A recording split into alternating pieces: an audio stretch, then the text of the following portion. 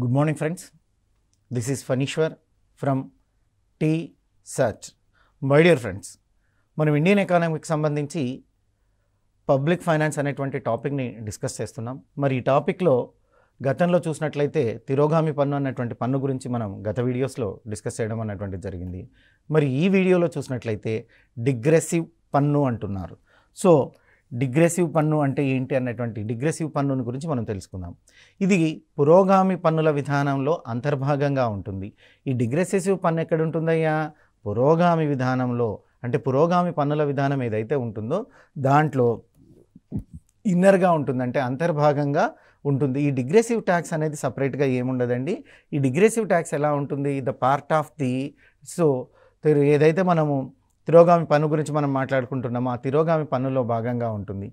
ఇక ఆదాయం పెరిగే కొద్దీ పన్ను రేటు ఒక స్థాయి వరకు పెరిగి ఆ తర్వాత స్థిరంగా ఉంటుంది. ఈ పన్నులో ఎలా ఉంటుందంటే ఆదాయం పెరిగే కొద్దీ పన్ను రేటు పెరుగుతుంది. ఎంతవరకు పెరుగుతుంది? ఎంతో కొంత మొత్తం పెరుగుతుంది. ఒక స్థాయి వరకు పెరుగుతుంది. ఒక స్థాయి వరకు పెరిగిన తర్వాత ఇంకా ఆ తర్వాత పెరగకుండా స్థిరంగా ఉంటుంది. అంటే ఆదాయాన్ని ఆధారంగా చేసుకునే పన్ను పెంచడం అన్నటువంటి జరుగుతుంది. అయితే ఆదాయంతో పాటుగా పన్ను పెరగదండి. ఆదాయంతో పాటుగా పెరిగి ఏదో ఒక చోట పన్ను అన్నటువంటిది ఆగిపోతుంది. ఒక స్థాయి వద్ద వరకే పెరుగుతుంది. ఆ తర్వాత స్థిరంగా ఉంటుంది. అలా ఉండేటువంటి దాన్ని డిగ్రెసివ్ పన్ను అని మనం చెప్పడం అన్నటువంటి జరుగుతుంది. మరి ఈ పన్ను పద్ధతిలో అధిక ఆదాయం ఉన్నటువంటి వ్యక్తి తక్కువ త్యాగము తక్కువ ఆదాయం ఉన్నటువంటి వ్యక్తి ఎక్కువగా త్యాగము చేయాల్సినటువంటి పరిస్థితి వస్తుంది. అంటే ఇక్కడ అధికంగా ఆదాయం ఉండేటువంటి వ్యక్తి తక్కువగా పన్ను కట్టాల్సి వస్తుంటుంది. తక్కువ ఆదాయం ఉన్నటువంటి వ్యక్తి ఎక్కువగా పన్ను కట్టాల్సి వస్తుంటుంది. తక్కువ ఆదాయం ఉన్నటువంటి వ్యక్తి ఎక్కువగా త్యాగం చేయాల్సి వస్తుంది అంటే ఆదాయం ఎవరికైతే తక్కువగా ఉంటుందో వాళ్ళకి ఎక్కువగా పన్ను విధించబడుతుందని అర్థం అండి. ఆదాయం ఎక్కువగా ఉండేటువంటి వ్యక్తి ఏం చేస్తారు ఈ పద్ధతిలో? అధిక ఆదాయం ఉన్న వ్యక్తి తక్కువ త్యాగం చేస్తాడు. ఆదాయం ఎక్కువగా ఉండేవారు.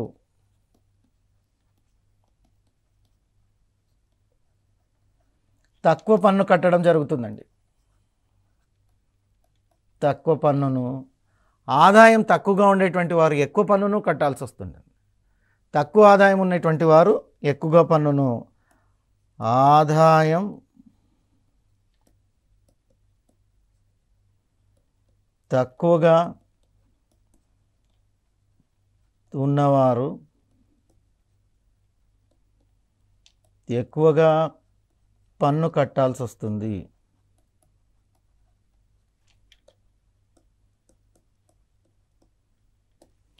సో ఇది అంటే ఈ పన్నులో ఉండేటువంటిది ఏంటంటే ఈ పద్ధతిలో అధిక ఆదాయం ఉండేటువంటి వ్యక్తులు తక్కువగా త్యాగం చేయాల్సి వస్తుంది.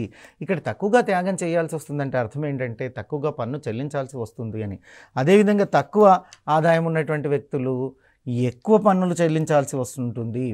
ఇక ఆదాయం పెరిగినంత వేగంగా సో ఆదాయం పెరిగినంత వేగంగా త్యాగం పెరగకపోతే దాన్ని డిగ్రెసివ్ పన్ను ట్యాక్స్ అని చెప్తారు. ఇక్కడ ఒక సింపుల్ దీన్నే మళ్ళీ మనకు తిప్పి అడిగేటువంటి అవకాశం ఉంది ఎగ్జామ్లో. ఆ తిప్పి ఎలా అడుగుతున్నారయ్యా అంటే ఆదాయం పెరిగినంత వేగంగా త్యాగం పెరగకపోతే ఆదాయం పెరిగినంత వేగంగా త్యాగం పెరగకపోతే దాన్ని ఏమంటున్నారు? డిగ్రెసెసివ్ పన్ను అంటున్నారు దాన్ని. డిగ్రెసివ్ పన్ను అంటున్నారు. ఆదాయం పెరిగినంత వేగంగా త్యాగం పెరగకపోతే అంటే ఆదాయం పెరిగినంత వేగంగా ట్యాక్స్ పెరగకపోతే ఎందుకంటే ఈ పన్నులో మనం ముందుగానే డెఫినేషన్ చెప్పేటప్పుడు చెప్పుకున్నాం ఏమని చెప్పుకున్నాం? సో పురోగామి పన్ను విధానం చూసినట్లయితే ఆదాయం పెరిగే కొద్దీ పన్ను రేటు ఒక స్థాయి వరకే పెరిగి ఆ తర్వాత స్థిరంగా ఉంటుంది కాబట్టి దీనికోసం మనం ఏమంటున్నాం? ఆదాయం పెరిగినంత వేగంగా త్యాగము పెరగకపోతే అంటే పన్ను కట్టేటువంటిది పెరగకపోతే దాన్ని డిగ్రెసివ్ పన్ను అని పిలవడం అన్నటువంటిది జరుగుతుంది. ఇక ఈ పన్నులో చూసినట్లయితే రెండు లక్షణాలు మనకు కనపడుతున్నాయి. ఈ డిగ్రెసివ్ పన్నులో ఎలాంటి లక్షణాలు మనం ఉన్నాయో చూసినట్లయితే పురోగామి పన్ను లక్షణం కనపడుతుంది కొంత ప్రారంభంలో. ప్రారంభంలో ఎవరి లక్షణం కనపడుతుందయ్యా అంటే పురోగామి పన్ను లక్షణం కన లక్ష్యం కనపడుతుంది. అదేవిధంగా ఒక స్థాయి తర్వాత చూసినట్లయితే అనుపాత పన్ను లక్షణం అన్నటువంటిది కనపడుతుంది. ఒక స్థాయి తర్వాత చూసినట్లయితే అనుపాత లక్షణం అంటే ఈ డిగ్రెసివ్ ట్యాక్స్లో రెండు రకాలైనటువంటి పన్నుల లక్షణాలు కనపడుతున్నాయి. ఏమేమి కన్ను పన్ను కనపడుతున్నాయి? పురోగామి పన్ను లక్షణం కనపడుతుంది. పురోగామి పన్ను లక్షణం కలదు. ఎప్పుడు కనపడుతుంది పురోగామి పన్ను లక్షణం అన్నటువంటిది? ప్రారంభంలో కనపడుతుంది. ప్రారంభంలో పురోగామి పన్ను లక్షణం అన్నటువంటిది కనపడుతుంది. తర్వాత చూసినట్లయితే ఆ తర్వాత అనుపాత పన్ను లక్షణం అనుపాత పన్ను లక్షణం అన్నటువంటిది కనపడుతుంది. అంటే రెండు కూడా ఉన్నాయి. పురోగామి పన్ను లక్షణం ఉంది ఇందులో అనుపాత పన్ను లక్షణం ఉంది. రెండు పన్ను లక్షణాలు ఉంటాయి డిగ్రెసివ్ పన్నులో. అభ్యర్థులు గుర్తుపెట్టుకోవాలి. డిగ్రెసివ్ ట్యాక్స్లో రెండు లక్షణాలు కనిపిస్తాయి. ఏమేమి ఉన్నాయి ఆ రెండు అంటే పురోగామి పన్ను లక్షణము తర్వాత చూస్తే ఒక స్థాయి తర్వాత అనుపాత పన్ను లక్షణము రెండు కూడా మనకు కనపడుతున్నాయి అని. కాలాన్ని బట్టి పది పన్ను విధింపు అన్నటువంటి దాన్ని చూస్తే పన్ను ఎలా విధిస్తారంటే పన్ను విధింపు అన్నటువంటిది రెండు రకాలుగా ఉంటుంది. ఒకటి తాత్కాలిక పన్ను రెండు శాశ్వత పన్ను. ఒకటి తాత్కాలిక పన్ను రెండు శాశ్వత పన్ను. మరి కాలాన్ని బట్టి పన్ను విధించేటువంటి వాటిని చూసినట్లయితే మనము టెంపరీ ట్యాక్స్ని కూడా పడుతున్నాం. దాన్నే మనం తాత్కాలిక పన్ను అంటున్నాం. తాత్కాలిక పన్ను అన్నటువంటిది ఉంది అదేవిధంగా చూసినట్లయితే శాశ్వత పన్ను అన్నటువంటిది కూడా ఉంది. అంటే టెంపరీ పర్మనెంట్ పన్ను అన్నటువంటి రెండు కూడా పన్నులు మనకు ఈ దీన్ని పురోగామిలో కనపడుతుంది సారీ డిగ్రెసివ్ పన్నులో కనపడుతున్నాయి. డిగ్రెసివ్ పన్నులో కాలాన్ని బట్టి పన్ను విధింపు అన్నటువంటిది కూడా కనపడుతుంది. ఈ మొత్తం పన్నుల్లో చూసినట్లయితే మూడో దాన్ని మనం డిస్కస్ చేస్తున్నాం. దీన్ని మూడో వర్గం ఎలా విభజిస్తున్నాం? కాలాన్ని బట్టి పన్ను విధింపు కాలాన్ని బట్టి పన్ను విధింపు అంటున్నాం. తాత్కాలికంగా పన్ను విధిస్తున్నారు శాశ్వత పన్ను అన్నటువంటిది కూడా విధిస్తుంది. ఇందులో మొదటిది తాత్కాలిక పన్ను అంటే ఏంటో చూద్దాం. So we are discussing about the temporarily tax temporary tax దేశం క్లిష్ట పరిస్థితిలో ఉన్నప్పుడు ప్రభుత్వం తాత్కాలిక అవసరాలు తీర్చుకునేందుకు విధించే పన్నునే తాత్కాలిక పన్ను అంటారు. సాధారణంగా త్రీ సిక్స్టీ యుద్ధం లేనప్పుడు అంటే ఎలాంటి ఎమర్జెన్సీ కండిషన్స్ లేనప్పుడు అవత అత్యవసర పరిస్థితులు లేనప్పుడు యుద్ధ వాతావరణం లేనప్పుడు సాధారణంగా మనం బడ్జెట్లో పన్నులు పెంచడం కానీ పన్నులను ఇంపోజ్ చేయడం అన్నటివి కానీ ఏవైతే ఉన్నాయో వాటిని చేస్తూ ఉంటాం. అలా కాకుండా దేశం ఏదైనా విపత్కర పరిస్థితుల్లో ఉన్నప్పుడు ఇబ్బందుల్లో ఉన్నప్పుడు కష్టాల్లో ఉన్నప్పుడు అంటే దేశం క్లిష్ట పరిస్థితుల్లో ఉన్నప్పుడు ప్రభుత్వం యొక్క తాత్కాలిక అవసరాలు అంటే రెగ్యులర్గా వచ్చే అవసరాలు కాకుండా ప్రభుత్వానికి అడిషనల్గా ఏదో ఒక సమస్యతో ఎక్కువగా డబ్బు అవసరం ఉన్నప్పుడు లేదా ఇంకొక విధంగా యుద్ధం సంభవించినటువంటి సమయంలోనో ఇంకో విధంగానో డబ్బు అవసరమై అది పబ్లిక్ అంటే ఆ పరిపాలన కొరకు ఆదాయం కావాల్సి వచ్చినప్పుడు ఆ తాత్కాలిక అవసరాలను తీర్చుకునేందుకే అంటే ఆ క్లిష్ట పరిస్థితుల్లో ఆ పీరియడ్లో జనరల్గా ఎమర్జెన్సీ పీరియడ్లో మాట్లాడుకోవచ్చు. అలాంటి క్లిష్ట ప్ల క్లిష్ట పరిస్థితుల్లో విధించేటువంటి పన్నునే తాత్కాలిక పన్ను అంటారు. అంటే రెగ్యులర్ ట్యాక్సెస్ కాకుండా రెగ్యులర్గా విధించే పన్నులు కాకుండా యుద్ధ సమయాలలో సో ఆ సర్చార్జెస్ పేర్లతో కొన్ని పన్నులను విధించడం అనేటువంటిది జరుగుతుందండి. అంటే దేశము ఆ యుద్ధ పరిస్థితుల్లో క్లిష్ట పరిస్థితుల్లో ఉందనో లేకపోతే ఇంకో విధంగా ఏదైనా క్లిష్ట పరిస్థితుల్లో ఉన్నప్పుడు దేశం పరిపాలనకు దేశం దగ్గర ఉండేటువంటి అదనంగా డబ్బు కావాల్సినప్పుడు అదనంగా నిధులు పరిపాలన అవసరాల కొరకు కావాల్సినప్పుడు ఆ అదనంగా తాత్కాలిక అవసరాల కొరకు కావాల్సినప్పుడు ఆ తాత్కాలిక అవసరాలను తీర్చుకునేందుకు ప్రభుత్వం విధించేటువంటి పన్నే తాత్కాలిక పన్ను అంటున్నారు. ఆ తాత్కాలిక అవసరాలను తీర్చుకునేందుకు ప్రభుత్వం విధించేటువంటి పన్నునే తాత్కాలిక పన్ను అంటున్నాము. మరి ఉదాహరణ చూసినట్లయితే ఈ టెంపరీ ట్యాక్స్కి ఉదాహరణ చూసినట్లయితే యుద్ధ సమయాల్లో ప్రభుత్వం వారు సర్ఛార్జీలను విధిస్తారు. యుద్ధ సమయంలో వెపన్స్ కొరకు ఆయుధాలను తరలించడం కొరకు వెహికల్స్కి పెట్రోల్కి యుద్ధంలో క్షతగాత్రులైనటువంటి వారి ఆరోగ్య పరిస్థితులకు వారి మెడికల్ ఎక్స్పెన్సెస్కి ఇవి ఇవన్నీ కూడా తాత్కాలికంగా అప్పటికప్పటికి అవసరం అవుతాయి యుద్ధం జరిగినప్పుడు. అందుకే యుద్ధ సమయాల్లో సర్ఛార్జీలను విధిస్తారు. ఈ యుద్ధ సమయాల్లో విధించేటువంటి సర్చార్జీ యుద్ధం మిగిసాకనే రద్దు చేయబడుతుంది. అంటే యుద్ధం ఎన్ని రోజులు జరిగితే అన్ని రోజులు తాత్కాలికంగా అదనపు పన్ను వి- విధిస్తున్నారు సర్చార్జ్ పేరుతో. సో అదనపు పన్ను అన్నటువంటిది విధిస్తున్నారు కాబట్టి మనం ఏం చెప్పుకుంటున్నామంటే ఆ క్లిష్ట పరిస్థితుల్లో విధించిన తర్వాత ఆ క్లిష్ట పరిస్థితులు పోయి సాధారణ స్థితికి వచ్చిన తర్వాత మళ్ళీ ఆ పన్నును రద్దు చేయడం అన్నటువంటిది జరుగుతుంది. దాన్నే తాత్కాలిక పన్ను అంటున్నారు. మీకు ఉదాహరణకు అర్థమవడం కొరకే యుద్ధంలో విధించేటువంటి సర్ఛార్జీలు అని చెప్తున్నాం. యుద్ధంలో విధించేటువంటి సర్ఛార్జీలు యుద్ధం మిగుసాక రద్దు చేయబడతాయి. ఈ సర్చార్జీలన్నీ కూడా తాత్కాలిక పన్నుగానే మనం చెప్పవచ్చు మరి పంతొమ్మిది వందల అరవైలో భారతదేశంలో చూసినట్లయితే ఆదాయపు పన్ను తాత్కాలిక పరీక్ష మీద యాక్చువల్గా ఇది చూసినట్లయితే నైన్టీన్ సిక్స్టీలో కాదు ఇది సో మనం దీన్ని చూసినట్లయితే భారతదేశంలో బ్రిటిష్ హయాం ఉన్నప్పుడు ఆదాయ పన్నును తాత్కాలిక ప్రాతిపదికన తీసుకురావడం అన్నటువంటిది జరిగింది భారతదేశంలో. సో బ్రిటిష్ హయాం ఉన్నప్పుడు తాత్కాలిక పన్ను అన్నటువంటి దాన్ని తీసుకురావడం జరిగింది. ఇది ఎయిటీన్ సిక్స్టీలో తీసుకురావడం అన్నటువంటిది జరిగింది. సో దాన్ని చూసినట్లయితే బ్రిటిష్ ఇండియా ప్రభుత్వం ఐదు సంవత్సరాల కాలానికి దీన్ని విధించడం అన్నటువంటిది సో వచ్చింది. మరి పద్దెనిమిది వందల యాభై ఏడు తిరుగుబాటును అనుసరించి ఈ తిరుగుబాటు సమయం తర్వాత మనం దీంట్లో ఏదైనా సో ఈ తిరుగుబాటు ఇచ్చినటువంటి కాలానికి విధించినటువంటి దానివల్ల అరవైలో భారత ప్రభుత్వం ఏం చేసింది? భారత్లో ఆదాయపు పన్ను తాత్కాలిక ప్రాతిపదికమైన బ్రిటిష్ ఇండియా ప్రభుత్వం ఐదు సంవత్సరాల కాలానికి విధించడం అన్నటువంటిది జరిగింది. ఐదు సంవత్సరాల కాలానికి విధించడం అన్నటువంటిది జరిగింది బ్రిటిష్ ప్రభుత్వం. ఈ పద్దెనిమిది వందల అరవైలోనే ఎందుకు విధించాల్సి వచ్చిందయ్యా అంటే పద్దెనిమిది వందల యాభై ఏడు తిరుగుబాటు ఇంపాక్ట్ అది. అంటే పద్దెనిమిది వందల యాభై ఏడు తిరుగుబాటు వలన దేశంలో జరిగినటువంటి నష్టాన్ని ఇతరత్రాలని దానికోసం బ్రిటిష్ ప్రభుత్వం ఏం చేసిందయ్యా అంటే ప- తాత్కాలిక ప్రాతిపదికన సో ఐదు సంవత్సరాల కాలానికి ఆదాయ పన్నును తీసుకొచ్చిందండి. అంటే income tax introduce for the five years in temporary ప్రాతి తాత్కాలిక ప్రాతిపదికన కేవలం ఐదు సంవత్సరాల కాలానికే విధించడం అన్నటువంటిది జరిగింది. ఇక రెండో పన్ను గురించి మనం డిస్కస్ చేద్దాం. ఈ రెండో పన్ను ఏంటయ్యా అంటే శాశ్వత పన్ను. రెండో పన్ను ఏంటయ్యా అంటే ఈ శాశ్వత పన్ను. ఈ పన్ను శాశ్వత ప్రతిక ప్రాతిపదికపైనే విధించేటువంటి పన్ను. దీన్ని ఎలా విధిస్తారయ్యా అంటే శాశ్వత ప్రాతిపదిక పైన శాశ్వత ప్రాతిపదిక పైన విధించేటువంటి పన్నునే శాశ్వత పన్ను అంటారు. ఇది మన పన్ను. రెగ్యులర్గా వచ్చేటువంటి పన్నులండి. రెగ్యులర్గా ప్రభుత్వం విధించేటువంటి పన్నులన్నీ కూడా శాశ్వత పన్నులే. క్లిష్ట పరిస్థితిలో ఉన్నప్పుడు ఎమర్జెన్సీ సమయాలలో దేశం విపత్కర పరిస్థితుల్లో తాత్కాలికంగా కొన్ని పన్నులను పన్నులను అప్పటి అవసరాల కొరకు విధిస్తే వాటిని మనము తాత్కాలిక పన్నులు అంటున్నాం. కానీ శాశ్వత పన్నులు అన్నటువంటివి రెగ్యులర్ బేస్ మీద విధించబడతాయి. శాశ్వత పన్ను అన్నటువంటిది శాశ్వత ప్రాతిపదికపైనే విధించేటువంటి పన్ను. శాశ్వత ప్రాతిపదికపైనే విధించేటువంటి పన్ను. మరి ఈ శాశ్వత పన్నుకు భారతదేశంలో ఉదాహరణలుగా వేటిని చెప్తున్నారయ్యా అంటే సేల్స్ ట్యాక్స్ అమ్మకపు పన్ను ఇన్కమ్ ట్యాక్స్ ఆదాయం పన్ను ఇవి రెండు చూసినట్లయితే శాశ్వత పన్నులకు ఉదాహరణగా చెప్తున్నారు. అంటే పర్మనెంట్ ట్యాక్స్ ఏవైతే ఉన్నాయో ఆ పర్మనెంట్ ట్యాక్స్కి వీటిని మనం ఎగ్జాంపుల్గా చెప్తున్నాం. దేని ఎగ్జాంపుల్గా చెప్తున్నామయ్యా అంటే అమ్మకపు పన్ను ఆదాయపు పన్ను దేనికి ఉదాహరణలు శాశ్వతం? ఇక్కడ ఒక గమనికని మనం గుర్తుపెట్టుకోవాలి. భారతదేశంలో ఆదాయపు పన్ను పద్దెనిమిది వందల ఎనభై ఆరులో పునఃప్రవేశపెట్టినప్పటి నుండి ఇప్పటి వరకు విధించబడుతూనే ఉంది. మరి అక్కడ చూసాం పద్దెనిమిది వందల అరవయో సంవత్సరంలో ఎయిటీన్ సిక్స్టీలో తీసుకొచ్చారు.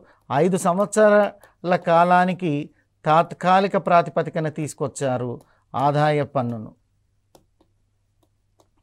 మరి ఆ తర్వాత చూసినట్లయితే ఆ ఐదు సంవత్సరాలు అయిపోయిన తర్వాత పద్దెనిమిది వందల ఎనభై ఆరు నుంచి ఇప్పటి వరకు పర్మనెంట్గా ఆదాయ పన్నును అన్నటువంటి దాన్ని భారతదేశంలో విధిస్తూనే వస్తున్నారు.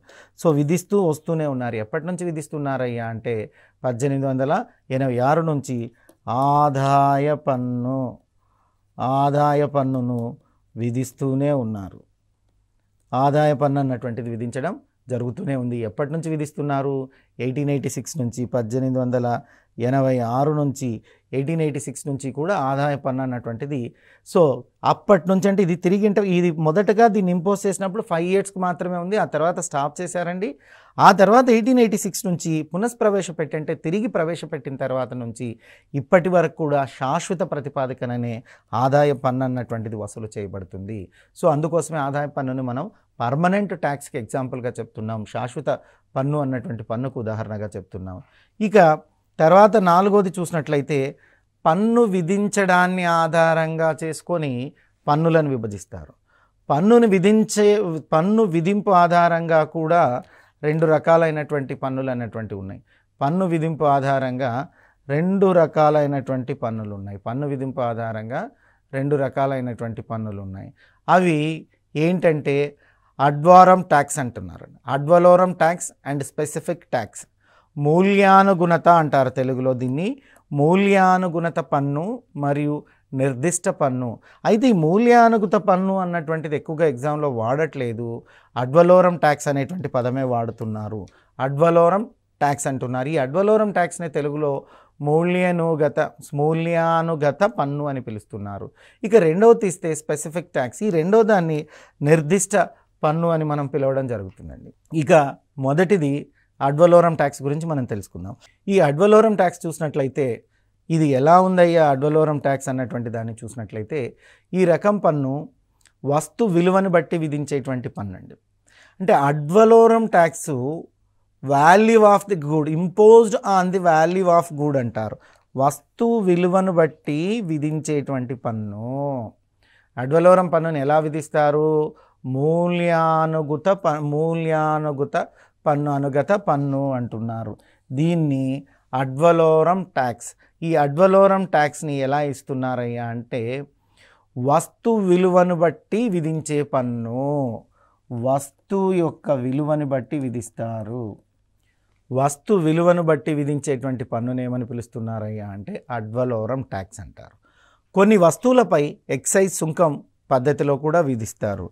అంటే కొన్ని గూడ్స్లో ఎక్సైజ్ సుంకం కూడా విధిస్తారు. ఈ ఎక్సైజ్ సుంకం పద్ధతిలో విధించేది కూడా అడ్వలోరం ట్యాక్స్ అనబడుతుంది సో అడ్వలోరం ట్యాక్స్ని ఎక్సైజ్ సుంకం పరిధిలో పద్ధతిలో కూడా దీన్ని ఇంకా ఎలా విధిస్తున్నారంట? కొన్ని వస్తువులపైన ఎక్సైజ్ సుంకం పద్ధతిలో అడ్వలోరం ట్యాక్స్ విధించడం జరుగుతుంది.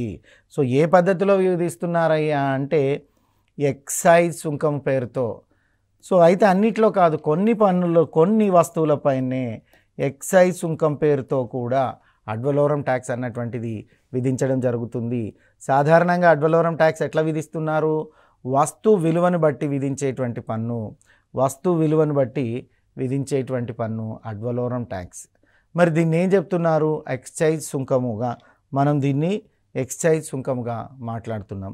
ఇక దీని విలువ ఆధారిత పన్ను అని కూడా మనం చెప్తున్నాం. దీనిని ఏం చెప్తున్నామయ్యా అంటే విలువ ఆధారిత పన్ను అంటున్నాం. అంటే ఇక్కడ వస్తు విలువని బట్టి విధిస్తున్నారు కదా. అందుకే దీన్ని విలువ ఆధారిత పన్ను అంటున్నాం. Value added tax. సో విలువ ఆధారిత పన్ను. ఎందుకు విలువ ఆధారిత పన్ను అని పిలుస్తున్నాం? పన్ను యొక్క విలువను ఆధారం చేసుకొని పన్ను అంటే వస్తువు యొక్క విలువను ఆధారం చేసుకొని పన్ను విధించబడుతుంది కాబట్టి దాన్ని విలువ ఆధారిత పన్ను అని కూడా అంటున్నారండి. ఈ పన్ను వలన రాబడి ఎక్కువగా ఉంటుంది. ఈ పన్ను వలన రాబడి ఎక్కువగా ఉంటుంది. ఇది అడ్వలోరం ట్యాక్స్కి సంబంధించింది. Ad valorem tax so ad valorem tax లేదా మూల్యానుగుత మూల్యానుగత పన్ను మూల్యానుగత పన్ను అంటున్నారు. ఈ మూల్యానుగత పన్నుని ఎలా విధిస్తారయ్యా అంటే మొట్టమొదట మనం తెలుసుకోవాల్సిన పాయింట్ ఏంటంటే ఈ రకం పన్ను వస్తువు విలువను బట్టి విధించే పన్ను వస్తువు యొక్క విలువను బట్టి విధించే పన్ను. ఇక రెండోది ఏంటంటే కొన్ని వస్తువులపైన ఎక్సైజ్ సుంకం పద్ధతిలో కూడా విధించడం జరుగుతుంది. కొన్ని వస్తువులపైన ఎక్స్చేంజ్ సుంకం పద్ధతిలో కూడా విధించడం జరుగుతుంది. దీనిని విలువ ఆధారిత పన్ను అని కూడా పిలుస్తారు. ఎందుకంటే వస్తు విలువను బట్టే విధిస్తున్నారు కాబట్టి విలువ ఆధారిత పన్ను అంటారు. ఈ పన్ను వలన రాబడి కూడా ఎక్కువగానే ఉంటుందండి. ఈ పన్ను వలన రాబడి కూడా ఎక్కువగా ఉండడం అన్నటువంటిది జరుగుతూ ఉంది. ఇక ధరలు పెరిగితే రాబడి కూడా పెరుగుతుంది. ధరలు పెరిగితే రాబడి కూడా పెరగడం అంటూ జరుగుతుంది. ధరలు పెరిగితే ఏం పెరుగుతుంది? రాబడి పెరుగుతుంది. ఎప్పుడైనా గుర్తుపెట్టుకోండి ధరలు పెరిగినప్పుడు ఆటోమేటిక్గా రాబడి పెరుగుతుంది. సాధారణంగా వస్తువు విలువలో కొంత శాతాన్ని పన్నుగా విధిస్తారు.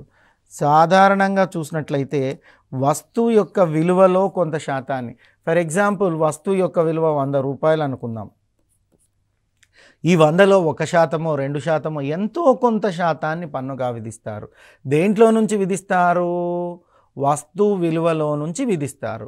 వస్తు విలువలో నుంచి కొంత శాతాన్ని పన్నుగా విధించడం జరుగుతుంది. వస్తు విలువలో నుంచి కొంత శాతాన్ని పన్నుగా విధించడం జరుగుతుంది. ఉదాహరణకు సేల్స్ ట్యాక్స్. సేల్స్ ట్యాక్స్ ఈ విధంగానే మనకు ఉదాహరణకు సేల్స్ ట్యాక్ని ఈ విధంగానే విధించడం అన్నటువంటిది జరుగుతుంది. మరి మన దేశంలో ఎక్కువ పన్నులు ఈ రకానికి చెందినటువంటి పన్నులే. ఈ దేశంలో ఎక్కువగా ఏ రకానికి చెందిన పన్నులు ఉన్నాయి అంటే అడ్వలోరం ట్యాక్సెసే ఉన్నాయి. శాశ్వత ప్రతిపాదికన ఇచ్చేటువంటి అడ్వలోరం ట్యాక్సెస్ అడ్వలోరం పన్నులే ఎక్కువగా ఉన్నాయి. సేల్స్ ట్యాక్స్ అనేది కూడా దీనికే ఒక ఉదాహరణగా చెప్పబడింది. మరి దీంట్లో చూసినట్లయితే సాధారణ వస్తు విలువలో కొంత శాతాన్ని వస్తువు యొక్క విలువ ఇది విలువ అంటే వంద రూపాయల వస్తువు యొక్క విలువ అంటే ఒక శాతము లేదా రెండు శాతాన్ని అట్లా ఎంతో కొంత శాతాన్ని పన్నుగా విధించడం అన్నటువంటిది జరుగుతుంది. ఒక పన్నుగా విధిస్తారు. ఎంతో కొంత శాతాన్ని పన్నుగా విధించడం అన్నటువంటిది జరుగుతుంది. ఇక రెండోది చూసినట్లయితే స్పెసిఫిక్ ట్యాక్స్ నిర్దిష్ట పన్ను స్పెసిఫిక్ ట్యాక్స్ నిర్దిష్ట పన్ను. ఒక వస్తువు బరువును బట్టి కానీ లేదా దాని పరిమాణాన్ని బట్టి కానీ ఒక వస్తువు బరువును బట్టి కానీ లేదా పరిమాణాన్ని బట్టి కానీ విధిస్తే అది నిర్దిష్టమైన పన్నుగా భావిస్తారు. ఒక వస్తువు యొక్క బరువుని బట్టి కానీ లేదా దాని పరిమాణాన్ని బట్టి కానీ విధిస్తే అది నిర్దిష్టమైన పన్నుగా భావిస్తారు. ఉదాహరణకు ఎంటర్టైన్మెంట్ ట్యాక్స్ నిర్దిష్ట పన్నుకు entertainment tax is the best example ఎలా అంటే ఒక వస్తువు యొక్క బరువుని బట్టి లేదా దాని పరిమాణాన్ని బట్టి ఎంతసేపు ఉంటుంది అన్నటువంటి దాన్ని బట్టి ఇస్తారు. సో ఆ పన్ను విధించడం అన్నటువంటిది జరుగుతుంది. దాన్ని నిర్దిష్ట పన్ను అంటారు. నిర్దిష్ట పన్నుకు ఉదాహరణ ఏంటంటే వినోదపు పన్ను. ఏదైతే ఎంటర్టైన్మెంట్ ట్యాక్స్ అని చెప్తున్నామో దాన్ని మనం నిర్దిష్ట పన్నుగా చెప్తున్నాం. ఇక కేంద్ర రాష్ట్రాల మధ్య విత్త సంబంధాలు. This is the very very very important for your examination very very very important for your examination కేంద్ర రాష్ట్రాల మధ్య ఆర్థిక సంబంధాలు. ఇది మీరు పాలిటీలో కూడా ఒక చాప్టర్ ఉంటుంది చదివింటారు. కాకపోతే పాలిటీలో మూడు రకాలైనటువంటి సంబంధాల గురించి చదివింటారు. పరిపాలనా సంబంధం న్యాయ సంబంధం మరియు ఆర్థిక సంబంధం అంటే కేంద్ర రాష్ట్రాల మధ్య ఉండేటువంటి పరిపాలనా సంబంధం కేంద్ర రాష్ట్రాల మధ్య ఉండేటువంటి జుడిషరీ సిస్టమ్ కేంద్ర రాష్ట్రాల మధ్య ఉండేటువంటి ఫైనాన్షియల్ రిలేషన్స్. అయితే ఇక్కడ కేవలం మనం ఎకనామిక్ సబ్జెక్ట్ చదువుతున్నాం కాబట్టి కేంద్ర రాష్ట్రాల మధ్య ఉండేటువంటి విత్త సంబంధాలనే చదువుతాం. కేంద్ర రాష్ట్రాల మధ్య ఉండేటువంటి విత్త సంబంధాలను చదవడం అన్నటువంటిది ఈ టైంలో మనకు జరుగుతుంది ఈ కేంద్ర రాష్ట్రాల్లో. మరి గట్టు మారకపు రేటు దృష్ట్యా భారతదేశం ప్రపంచ దేశాల్లో పన్నెండవ స్థానంలోను కొనుగోలు శక్తి దృష్ట్యా ప్రపంచ దేశాల్లో నాలుగో పెద్ద దేశంగా గుర్తించబడింది. అంటే గట్టు మారకపు రేటు దృష్ట్యా భారతదేశం చూసినట్లయితే పన్నెండవ స్థానంలో ఉంది. కొనుగోలు శక్తి చూసినట్లయితే మనం నాలుగో స్థానంలో ఉంది. అంటే పర్చేసింగ్ పవర్ ప్రయారిటీ అంటారు. పర్చేసింగ్ పవర్ ప్రయారిటీ పీపీపీ కొనుగోలు శక్తి. ఈ కొనుగోలు శక్తిలో ప్రపంచంలోనే మనం నాలుగవ దేశంగా ఉన్నాం నాలుగవ స్థానంలో ఉన్నాం. అదేవిధంగా మారకపు రేటు గట్టు మారకపు రేటు అంటున్నారు. ఈ మారకపు రేటులో పన్నెండవ స్థానంలో మనం ఉన్నాం. మారకపు రేట్లో పన్నెండవ స్థానంలో. భారత ప్రభుత్వానికి మిత్ర వనరులు సమకూర్చే ప్రధాన మార్గమే పన్నుల రాబడి. ఇక్కడ ఇది విత్త వనరులండి పదం. విత్త వనరులను భారతదేశానికి విత్త వనరులు అంటే ఫైనాన్షియల్గా ఏదైనా సమకూర్చేది ఉంది అంటే అందులో ప్రధానం పన్నులు. అంటే దీనిలో ఒక మాట ఏంటంటే దేశానికి ఎక్కువగా ఆదాయం ఎక్కడి నుంచే దేశానికి ఆదాయాన్ని సమకూర్చేది ఏంటయ్యా అంటే పన్నులే. దేశానికి ఆదాయాన్ని సమకూర్చే ప్రధాన మార్గం ప్రధాన మార్గం మేజర్ ప్రధాన మార్గం ట్యాక్సులు పన్నుల రాబడి. ప్రధాన మార్గం పన్ను రాబడి. ప్రధాన మార్గం పన్ను రాబడి. భారత ప్రభుత్వానికి భారత ప్రభుత్వానికి విత్త వనరులు సమకూర్చే ప్రధాన మార్గమే పన్నుల రాబడి. సో భారత ప్రభుత్వానికి విత్త వనరులను సమకూర్చేటువంటిది ప్రధాన మార్గం.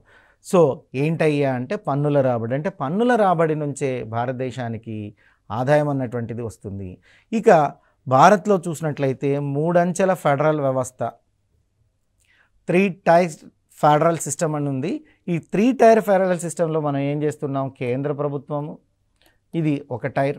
ఒక అంచె. రాష్ట్ర ప్రభుత్వము ఇది రెండవ అంచె. స్థానిక ప్రభుత్వము అంటున్నాము ఇది థర్డ్ టైర్ స్థానిక ప్రభుత్వం. ఈ మూడు ప్రభుత్వాలను మనము ఫెడరల్ మూడంచెల ఫెడరల్ వ్యవస్థ అంటాం. మూడంచెల ఫెడరల్ వ్యవస్థ అంటే ఏంటయ్యా అంటే కేంద్ర ప్రభుత్వము రాష్ట్ర ప్రభుత్వము మరియు స్థానిక ప్రభుత్వాల పన్నులు వసూలు చేసేటువంటి అధికారం ఉంటుంది కాబట్టి పన్నుల విషయంలో ఫెడరల్ ఆర్గనైజేషన్ ఫెడరల్ సిస్టమ్ అంటున్నారు. సో దాన్ని ఏం చెప్తున్నారు? త్రీ టైర్ ఫెడరల్ సిస్టమ్ అంటున్నారు. అంటే మూడంచెల పన్నుల వ్యవస్థ భారతదేశంలో ఉంది. ఆ మూడంచెల్లో చూస్తే కేంద్రము రాష్ట్రము స్థానిక ప్రభుత్వాలు ఉన్నాయి. ఆ మూడంచెల్లో చూస్తే కేంద్రము రాష్ట్రము స్థానిక ప్రభుత్వాలు ఉన్నాయి. రాజ్యాంగంలోని రెండు వందల అరవై ఎనిమిది మూడు వందల అధికరణలను సో రాజ్యాంగంలోని two sixty eight three hundred అధికరణలను పన్నుల విధింపు వసూలు అంశాలను తెలియజేస్తున్నాయి. అంటే పన్నులకు సంబంధించినటువంటి ఆర్టికల్స్ ఏమున్నాయి అంటే రాజ్యాంగంలోని article two sixty eight article three hundred ఈ రెండు చూసినట్లయితే ఈ రెండు ఆర్టికల్స్లో పన్నుల విధింపు వసూలు అంశాల గురించి తెలియజేస్తున్నాయి. భారత రాజ్యాంగంలో పన్నుల విధింపు వసూలు గురించి తెలియజేసేటి ఆర్టికల్ ఏదయ్యా అంటే two sixty eight three hundred two sixty eight three hundred అనేటువంటి ఆర్టికలు రాజ్యాంగంలోని పన్నుల విధింపును రాజ్యాంగంలోని పన్నుల విధింపును తెలుపుతున్నాయి. పన్నుల విధింపును తెలిపే ఆర్టికల్సు రెండు వందల అరవై ఎనిమిది మరియు మూడు వందలు. ఈ రెండు ఆర్టికల్స్ కూడా రాజ్యాంగంలోని three sixty eight and three hundred articles కూడా ఏం చేస్తున్నాయ్యా అంటే so article two sixty eight and three hundred అన్నటువంటి కూడా పన్నుల విధింపు వసూలు అంశాలను తెలియజేస్తున్నాయి. ఇక తర్వాత చూసినట్లయితే పంతొమ్మిది వందల ముప్పై ఐదు భారత ప్రభుత్వ చట్టం పాలనా విధులను మూడు విధాలుగా విభజించడం అన్నటువంటి జరిగింది. అంటే ఈ పన్నులకు సంబంధించి మనం చూసినట్లయితే కేంద్ర బ్యాంక్ అన్నటువంటిది ఒక కేంద్ర బ్యాంక్ అన్నటువంటిది భారతదేశంలో ఉంది. అదేవిధంగా పంతొమ్మిది వందల ముప్పై ఐదు భారత ప్రభుత్వ చట్టం ఒకటి ఉంది. So nineteen thirty five constitution so Indian government act అంటున్నారు దీన్ని. నైన్ పద్మ పంతొమ్మిది వందల ముప్పై ఐదు భారత ప్రభుత్వ చట్టం అనేది మీరు పాలిటీలో చదువుతారు. ఈ పంతొమ్మిది వందల ముప్పై ఐదు భారత ప్రభుత్వం చట్టం నుంచి మనం చాలా అంశాలను తీసుకున్నామన్నటువంటి విషయం కూడా అభ్యర్థులకు తెలుసు. మరి ఆ ప్రభుత్వ పాలనా చట్టం పాలనా విధులను మూడు రకాలుగా విధి విభ విభజించడం అన్నటువంటిది జరిగిందండి. పాలనా విధులను మూడు విధాలుగా విభజిస్తున్నారు. అందులో చూసినట్లయితే central list state list and concurrent list అంటారు. అంటే according to nineteen thirty five Indian constitutional act అంటారు. ఇండియన్ గవర్నమెంట్ యాక్ట్ అంటారు. ఈ ఇండియన్ గవర్నమెంట్ యాక్ట్ ప్రభుత్వ చట్టం భారత ప్రభుత్వ చట్టం బా పా చ అంటున్నారు. దీని ప్రకారం చూసినట్లయితే పాలనా విధానం కొరకు కేంద్ర జాబితా కేంద్ర జాబితా రాష్ట్ర జాబితా మరియు ఉమ్మడి జాబితాలను జాబితా మరియు ఉమ్మడి జాబితాలను రూపొందించారు. ఉమ్మడి జాబితాలను తీసుకురావడం అన్నటువంటి జరిగింది. మీకు తెలుసు ఈ చట్టంలో నుంచి దాన్ని మన రాజ్యాంగానికి జిరాక్స్ కాపీగా కూడా చెప్తారు. మనం ఎక్కువ విషయాలను ఆ చట్టంలో నుంచే గ్రహించామన్నటువంటి విషయం. మీరు పాలిటీలో చదువుతారు. ఇక ఈ అడ్మినిస్ట్రేషన్ పర్పస్ కోసం పాలనా విధుల కోసం చూసినట్లయితే కేంద్ర జాబితా రాష్ట్ర జాబితా ఉమ్మడి జాబితా అన్నటువంటి మూడు జాత జాబితాలను సెంట్రలిస్ట్ స్టేట్ అనేటువంటి మూడు లిస్టులను తీసుకురావడం అన్నటువంటి జరిగింది. దీనిని అనుసరించే పన్నులు విధించే అధికారము స్పష్టంగా ఇవ్వబడింది. అంటే పన్నులు కేంద్రం కొన్ని విధి- విధిస్తుంది రాష్ట్ర ప్రభుత్వం కొన్ని విధిస్తుంది ఉమ్మడి జాబితా అంటే ఇద్దరు కలిసి కూడా కొన్ని పన్నులను విధిస్తారు. అంటే పన్నులను విధించే అధికారం కేంద్రానికి ఉంటుంది రాష్ట్రానికి ఉంటుంది. కొన్ని అంశాల్లో ఇద్దరికి కూడా ఉంటుంది. అది నైన్టీన్ థర్టీ ఫైవ్ యాక్ట్ నుంచే మనం తీసుకుంటున్నాం. Okay my dear friends. Nineteen thirty five act తర్వాత వచ్చేటువంటి థింగ్స్ని మనం నెక్స్ట్ ఎపిసోడ్లో చూద్దాం. సెవెంత్ షెడ్యూల్ గురించి మనం మాట్లాడాలి. సెవెంత్ షెడ్యూల్లో ట్యాక్సెస్ ఎలా ఉన్నాయి అన్నటువంటి దాన్ని we are seeing the next episode thank you me Phaneeshwar sir from T SAT